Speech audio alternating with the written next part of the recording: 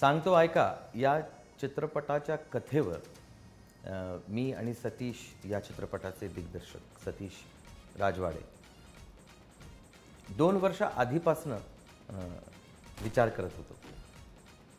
तेव्हा फक्त एक कथाच होती. त्या कथेची मांडणी कशी होणार हे माहीत नव्हतं पण तरीसुद्धा ती कथा खूप आकर्षक वाटली मला जेव्हा सतीशने मला ती ऐकवली. आणि त्यांची त्याची इच्छा होती की मी या चित्रपटात बऱ्याच वर्षांनंतर एक ॲक्टर म्हणून सादर व्हावं आणि ते त्यांनी मला सादर करावं त्याच्या दिग्दर्शनाखाली. पण अर्थातच त्याकरता एक सबळ निर्माता किंवा निर्मिती संस्था मिळणं फार गरजेचं होतं.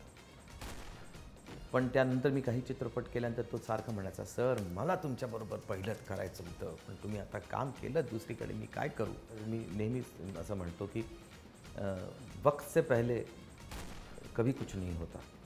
तर तसंच झालं की या चित्रपटाच्या नशिबात एक प्रोडक्शन हाऊस होतं. किंबहुना एका प्रोडक्शन हाऊसच्या नशिबात हा चित्रपट होता.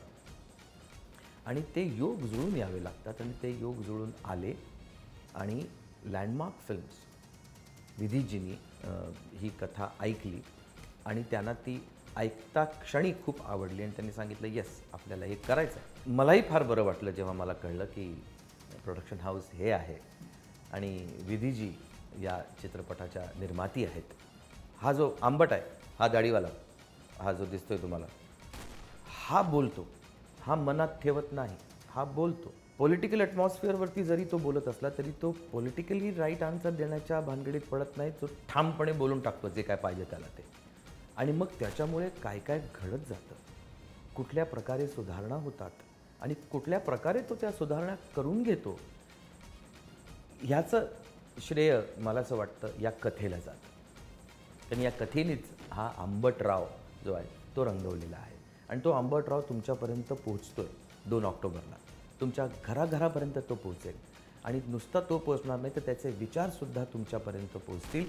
आणि त्या विचारांचा तुम्ही अवश्य करेक्ट असा उपयोग करून घ्याल ह्याची मला खात्री आहे असं मला वाटतं. आणि तुम्ही हा चित्रपट अवश्य चित्रपटगृहात जाऊन पाहावा.